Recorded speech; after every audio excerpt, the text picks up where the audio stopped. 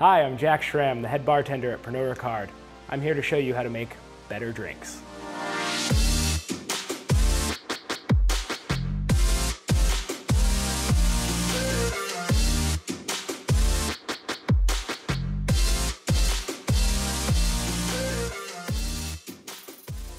I'd like to introduce you to a device that's made my life so much easier behind the bar and make my bar more sustainable. It's called the Spinzall.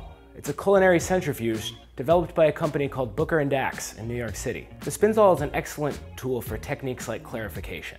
Because it spins so fast, all of the solid particles of a juice like lemon, lime, watermelon, essentially any juice that you put into it, will be pressed to the inside of the rotor, leaving a completely clear product behind. This juice on its own is already more shelf stable than a fresh squeezed juice. But if you add sugar, creating a, a, clear cordial, at that point you have a product that's infinitely shelf stable and value added. This is great for home or bar use. You can take a product like any spirit and a dried fruit or even a fresh fruit or vegetable, blend them together and then spin all the solid particles out, creating a ready to drink cocktail that you can serve to your guests or your friends or family that will make them so happy because it tastes so good. Aside from simply making things more delicious, the Spinzall will make your bar or home more sustainable. Today I'm going to demonstrate a technique that's colloquially referred to in, in many modern bars as a justino, a process of blending a dried fruit into a spirit. Today we're going to use dried mangoes and Del Maguey Chichicapa, blending them together, then spinning them into a centrifuge to create a ready-to-drink cocktail. These flavors pair beautifully together. Chichicapa is a, is, a, is a lower elevation espadin variety of mezcal that has this rich, salty minerality that pairs beautifully with mangoes. I'll take you through the process now. 12 ounces, 12 and a half ounces, half a bottle. It's a 25 ounce bottle. 12 and a half ounces of mezcal go into your blender pitcher.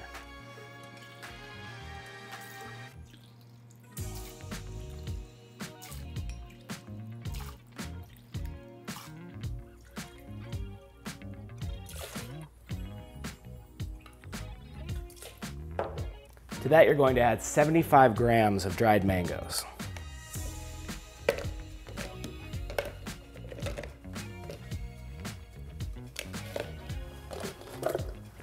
Now a product that you may not be familiar with, it's called pectinase. This is a product that breaks down the pectins that hold fruits and vegetables together in their existing form. It allows us to extract flavor and also helps remove the solids once we start spinning it in the centrifuge. Per liter of product, you're gonna wanna add four milliliters of pectinase. So in this situation, when I'm starting with 375 milliliters of mezcal, I'm gonna add two milliliters of pectinase to also account for the, the weight and volume of the mangoes that I've added. This can be done in a micro pipette, but if you don't have one, or the, the expense is too great, just grab a graduated cylinder. Two mils goes in. Now we'll blend.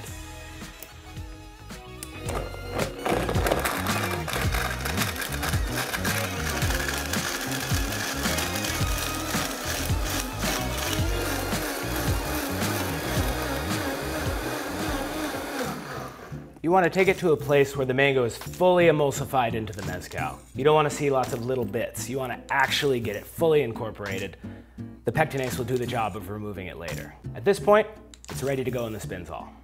Now the Spinzall is a great tool because you can run it in two modes, either batch, which I'm going to demonstrate today, or continuous. It has a peristaltic pump on the back, allowing you to feed fresh product into the rotor throughout the process, rather than only doing up to 500 milliliters at a time. I've spun liter after liter of fresh lime juice, fresh grapefruit juice, and in just a few hours, I've had enough clarified product to feed a 200 person event. It's a great tool. Today we're just making the one batch, so I'm gonna spin it in batch mode right here just in the rotor.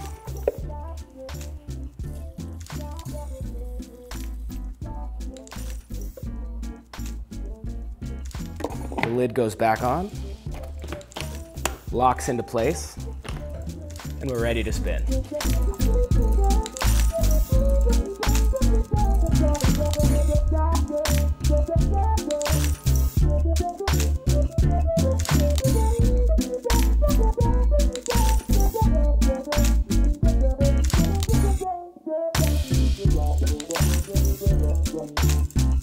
Yeah.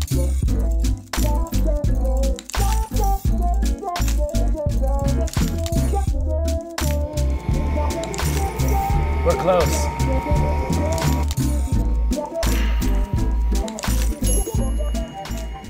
It's ready. It's just gonna take another moment to, to slow down. I'm so excited to taste this. I love this product. Mango and mezcal, especially Faustino's Chichicapa expression of Espadín is so beautiful together.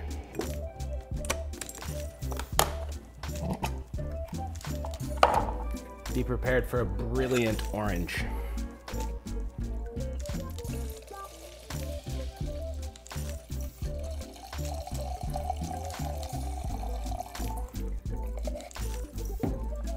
Also fun, while most of the flavor has been stripped out into the, the, the liquid itself, in the interior of that rotor, there's that puck, this mango mezcal flavored, essentially like spread that exists on the inside of the rotor. This is great for, for culinary applications, for things like adding to an icing on a cake. Not necessarily delicious to drink, but there are so many applications for, for every part of the product that you put into a Spinzall. Smells beautiful and just pour it over ice and allowed to dilute a little bit, it becomes an incredible cocktail. A great gift because you're giving someone something that's ready to drink. It's not a chore, it's actually a gift. Nobody wants a, a shaking tin set for Christmas. They want booze they can drink right now. If you have any questions about the Spinzall, about sustainability, about anything, but mostly about this, feel free to reach out in the comments below. If there's one thing I love talking about, it's the Spinzall. Until next time. This has been Better Drinks.